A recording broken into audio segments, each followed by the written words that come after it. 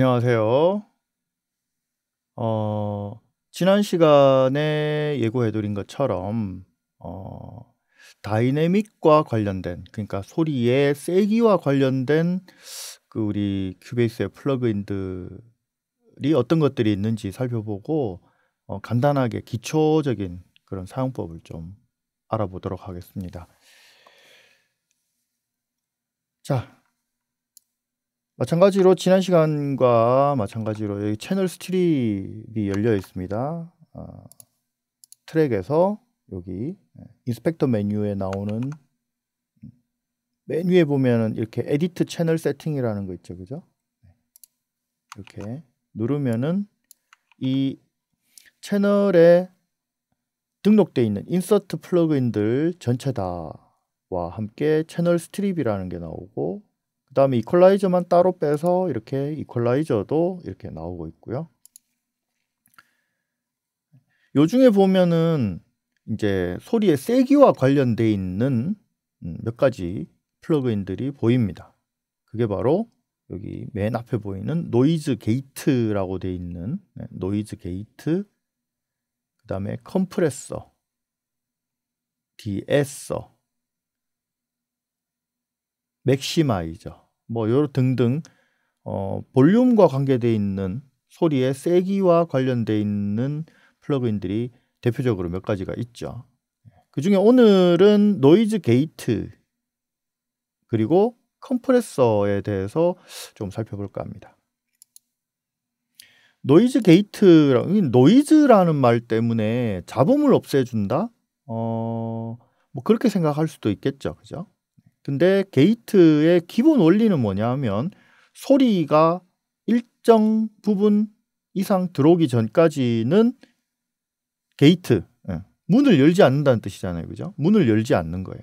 그래서 소리의 어, 볼륨을 아예 열지 않기 때문에 소리가 나오지 않는다는 거죠. 일정 볼륨이 되기 전까지는 소리가 나오지 않는다. 어, 기본 원리는 그렇습니다.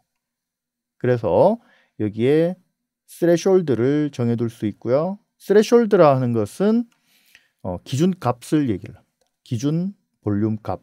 예, 지금 현재 마이너스 20데시벨 이렇게 돼 있죠. 그죠? 그래서 마이너스 20데시벨을 기준으로 해서 마이너스 20데시벨 이상 되는 소리가 들어왔을 때 일단 기본적으로 이 게이트를 열어준다 이런 뜻이에요. 열어줘서 소리를 나오게 만들어 준다 이런 뜻입니다. 한번 재생을 해보면 천마의 기백을 이... 자 요거를 이렇게 키고 재생을 해보면 천마의 기백을 이어받아 네. 노랗게도 됐다가 빨갛게도 됐다가 녹색불도 들었다가 뭐 그러죠 그죠? 지금 현재 노란색으로 소리가 아무것도 들어오고 있지 않기 때문에 예, 대기 상태입니다.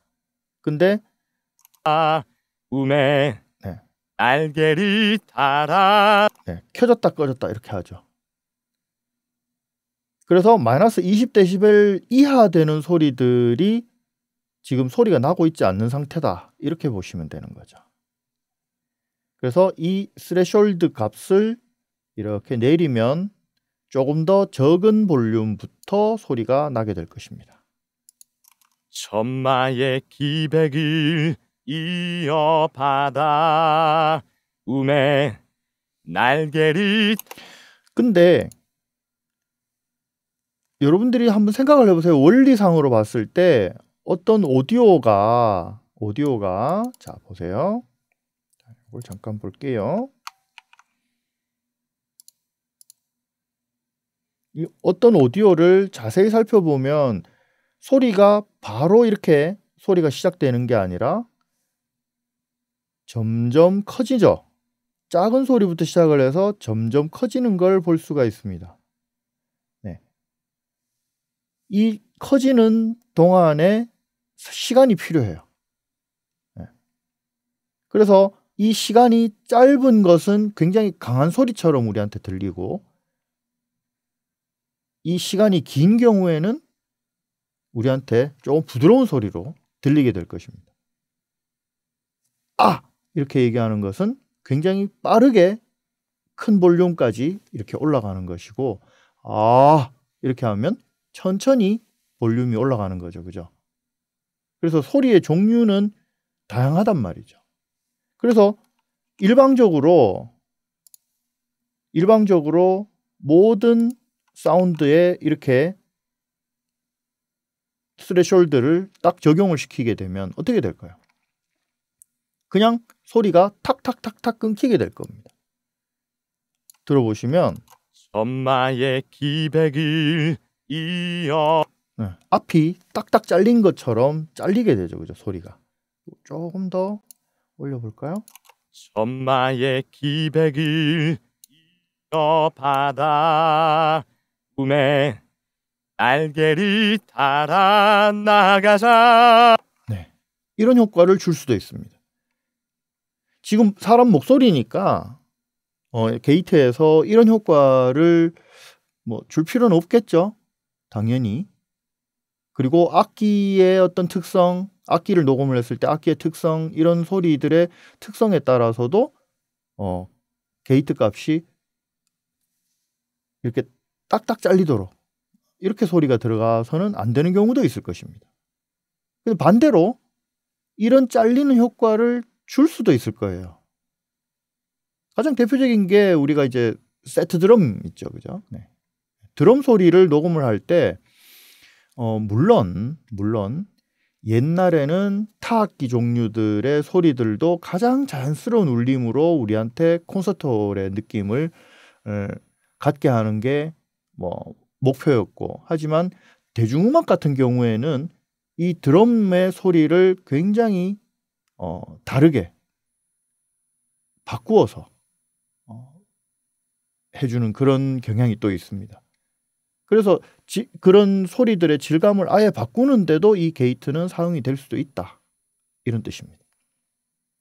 자, 만약에 여기에 보시면은 attack이라고 되어 있는 knob가 있어요. 이 attack이 뭐냐? 지금 현재 1ms 0.01초 만에 이 게이트가 열리고 닫히고 어, 한다는 뜻이에요. 근데 요거를 시간을 조금 이렇게 주어지게 만들면 천천히 소리가 들리고 서, 천천히 소리가 안 들리고 이렇게 될 겁니다. 천마의 기백을 이어받아 그, 그렇죠? 네. 천천히 게이트가 열리는 걸 알 수가 있습니다.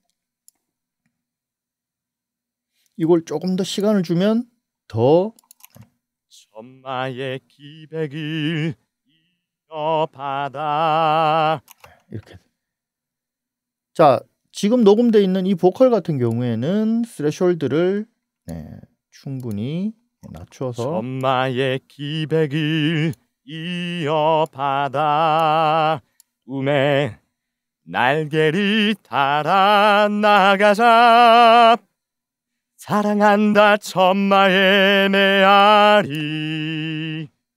네, 이렇게 적용시켜 줄 필요가 있겠네요. 네. 그리고 release라는 것은 반대로 attack과는 반대로 어, 어 threshold 이하로 소리가 내려왔을 때 갑자기 문을 닫아버리는 게 아니라 일정 시간의 여유를 두고 문을 닫겠다 이런 뜻이 되겠습니다. 그래서 일정 시간 이후에 게이트가 작동이 되고 일정 시간 이후에 게이트가 닫힌다는 뜻이에요. 자, 요로 요걸 적절히 활용을 하면은 우리가 소리를 비교적 자연스러우면서도 어 노이즈 게이트의 어 가장 첫 번째 목표가 여기 사이사이에 들어있는 이 부분들의 노이즈 뭐 사실 노이즈가 없이 녹음이 되면 사실 노이즈 게이트도 필요 없다라고 생각할 수도 있겠지만 네, 그런 부분을 제거시켜 줄 때 주로 많이 쓴다는 것입니다. 그래서 그 목표에 부합하려면 네, 적절하게 조정을 해줘야 되겠습니다. 자, 요런 원리를 우리가 어느 정도 안 다음에 컴프레서를 보도록 할게요. 자, 컴프레서는 뭐냐? 어, 큐베이스의 내장 컴프레서에서 이렇게 간략하게 보여지고 있는 모습 외에도 여기 이 버튼을 누르면 네, 조금 더 자세하게 컴프레서를 조작할 수가 있습니다. 여기 보시면은 네. 자, 컴프레서 이 버튼을 눌러서 먼저 살펴보도록 할게요. 요거는 일정 볼륨 자기가 설정해 놓은 threshold 네, threshold 값에서 이상 되는 소리가 들어올 때 threshold 이상 되는 소리가 들어올 때 그 소리를 볼륨을 낮추는 겁니다. 자, 그, 그 소리에 대해서 소리를 네, 볼륨을 낮춰버립니다. 일단 그, 그 원리를 기본적으로 이해를 하셔야 돼요. 여기 보시면 스레숄드라고 있죠. 그죠? 자, 내가 어느 볼륨 이상 되는 소리를 줄일 것인가? 자, 여기서 그럼 왜 줄여? 이렇게 생각하실 수 있는데 첫 번째 소리를 볼륨을 소리의 볼륨을 조절을 하면 여러 가지가 변하게 돼요. 소리의 원초적인 그런 소리 질감이라든지 예, 볼륨감 모든 것들이 틀어지게 됩니다. 그건 감안을 해야 돼요. 자, 그거를 감안해 두고 우리는 이 작업을 합니다. 왜? 전체 볼륨의 편차를 줄이기 위해서. 물론 컴프레서를 다른 악기나 다른 용도로 우리가 전용해서 어, 여러 가지로 많이 사용을 하는데 어, 그 경우에는 뭐 특정 용도들이 또 더 있을 수 있어요. 예. 음색을 아예 바꿀 수도 있고요. 아까 얘기했던 그런 드럼 같은 경우에 세트 드럼들의 소리 같은 경우에는 이 컴프레서를 이용을 해서 소리의 어, 질감 을 아예 바꿔버릴 수도 있어요.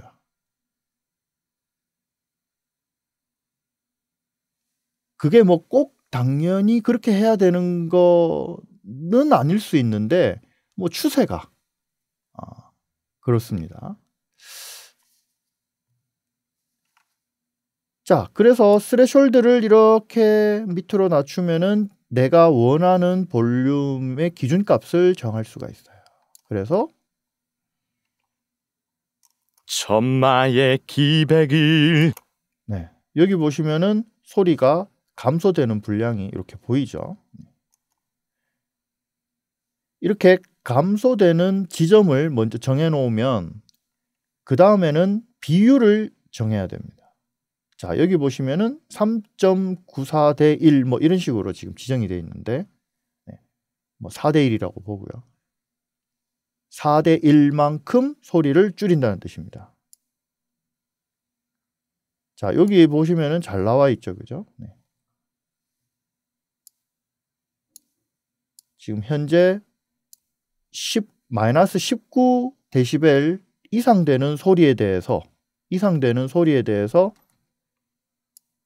이렇게 4분의 1로 볼륨을 줄여라. 이런 뜻이 되겠습니다.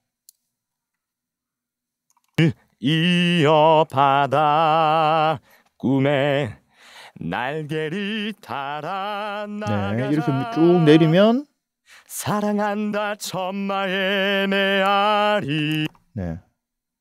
훨씬 많은 소리들이 줄어드는 걸 우리가 알 수가 있죠. 자, 이 비율은 어, 용도에 따라서 여러 가지로 우리가 이제 정할 수 있습니다. 어, 4대 1부터 뭐 심지어 8대 1 보컬 중에서도 굉장히 뭐 어, 나레이션 같은 거 녹음할 때는 8대 1까지도 올려 가지고 어, 작업하기도 하고요. 그리고 이 컴프레서는 한 번만 사용되는 게 아니라 전체를 믹스한 후에 또 마스터링이랑 이런 과정에서도 사용이 되기도 해요.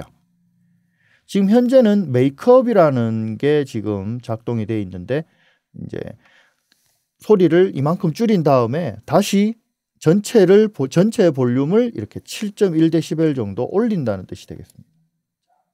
이해되시죠? 요걸 일단 0으로 놔두고 한번 작동을 시켜볼게요. 천마의 기백을 여기 보시면은 어, 줄어들고 있는 모습이 예, 보입니다. 이게 원본 소스고요. 나가자. 예, 요게 이만큼 줄어서 천마의 출력은 이만큼 되고 있다는 뜻이죠. 새로운 시대의 주인공이 되어보자 새로운 시대를 자 이런 식으로 우리가 어떤 특정 보- 레벨 이상 되는 소리를 낮출 수만 있다면 편차를 줄일 수가 있겠죠. 작은 소리와 큰 소리의 편차를 줄일 수가 있습니다. 그러면 전체적으로 나중에 소리를 키울 수가 있게 되는 거죠. 그러면 작은 소리도 훨씬 더 크게 해서 더 잘 들리게 만들 수 있고 큰 소리는 조금 줄여서 우리가 어 그 오디오 레벨에서 이렇게 튀어 가지고 어, 피크가 뛰는 그런 현상도 막을 수가 있고 예, 여러 가지로 용도가 있습니다. 자, 그 다음에 여기도 보면은 attack, hold, release 이렇게 다 있습니다. 예, attack은 아까 말씀드렸듯이 이 컴프레서가 바로 작동하게 될 건지 아니면 어느 정도 시간을 두고 작동할 건지를 정해줍니다. 이것도 정해두면 조금 시간을 정해두면 천마의 기백을 이어받아 꿈에 네. 이 노래 목소리가 약간 이렇게 예, 어택이 부드럽게 되어 있단 말이죠. 예. 그런 경우에는 좀 더 아까보다는 소리가 줄어드는 게 자연스럽게 적용이 될 겁니다. 그리고 홀드는 일정 시간 이상 지속할 수 있도록 이렇게 소리가 낮아진 다음에는 바로 원상복구가 되는 게 아니라 일정 시간은 음, 붙잡고 있도록. 네. 그리고 release는 어, 이 threshold 값 이하로 볼륨이 내려갔을 때 바로 원상복구 시키는 게 아니라 볼륨을 예, 일정 시간의 흐름에 따라 104ms 지금 현재 돼 있죠, 그죠? 이것도 조정을 할 수가 있어요. 이런 시간을 두고 볼륨을 정상화시켜라 이런 뜻이 되겠습니다. 이해가 다 되시죠? 어느 정도. 자, 그래서 이런 것들을 전체적으로 잘 조정을 해서 소리를 소리의 볼륨 편차를 줄이도록 합니다. 이렇게. 천마의 기백을 이어받아 꿈에 그 다음에는 메이크업 게인을 이용을 해서. 이렇게 전체적인 볼륨을 올릴 수가 있어요. 새로운 시대의 주인공이 되어보자 새로운 시대를 여기에 레벨 지금 뜨고 있는 모습만 봐도 우리가 충분히 알 수 있거든요. 이게 없을 때랑 네. 자, 이 컴프레서가 없을 때랑 천마의 기백을 이 볼륨 변화 이어받아 꿈에 날개를 달아 나가자 자, 자 할 때 볼륨이 엄청 높아지죠. 그죠? 네. 그런 것들을 여기서는 컴프레서를 사용을 하게 되면 달아 나가자 이렇게 수그러들게 됩니다. 충분히.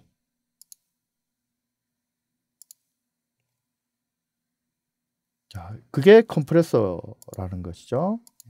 이 컴프레서는 어, 여기에 지금 channel strip에 있는 이 컴프레서 외에도 우리가 effector에서 어, 카테고리는 다이내믹 dynamics에 쭉 가면 여기에 컴프레서라는 플러그인이 있어요. 이 플러그인이 딱 보시면 네, 스타인버그에서 만든 내장 컴프레서입니다. 그래서 달아 나가자 사랑한다 천마의 메아리 여기서 좀 조정을 해주고요. 새로운 시대의 주인공이 되어보자 새로운 시대를 이끌어가자 따뜻한 가슴을 품고 이렇게 조정을 해줄 수도 있습니다. 컴프레서는 종류가 여러 가지예요. 여기 보시면은 그냥 이렇게 컴프레서라고 돼 있는 것도 있고요. 그 다음에 dynamics라고 돼 있는 것도 있습니다. 이 다이내믹스는 VST 다이내믹스라고 돼 있는 것은 이제 다이내믹 관련된 플러그인을 한 플러그인 안에 다 모아 놓은 거예요. 이렇게 스타인버그 큐베이스 안에 내장되어 있는 거고요. 요거를 게이트 이렇게 키고 또 컴프레서 이렇게 키고 네, 작업을 하시면 됩니다. 자, 그러면은 우리가 이제 컴프레서라는 걸 사용을 하면은 어떤 효과를 얻을 수 있느냐? 음, 아까도 좀 말씀을 드렸지만은 소리가 매우 이렇게 그 볼륨 편차가 줄어든다라는 거죠.